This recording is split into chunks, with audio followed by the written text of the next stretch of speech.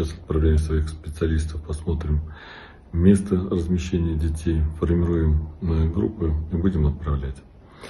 А, В пунктах временного размещения э, Старого Оскола, Губкина и Карачанского района находится около 300 жителей города Белгорода, которые приняли решение временно переехать. За последние сутки к нам поступило 1300 заявок а, на то, чтобы отправить детей э, города Белгорода в загородные школьные лагеря в другие регионы.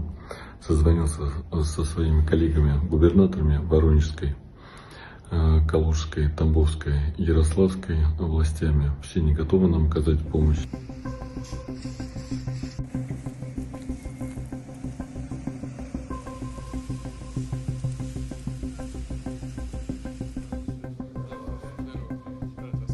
С Новым годом хочу поздравить вас.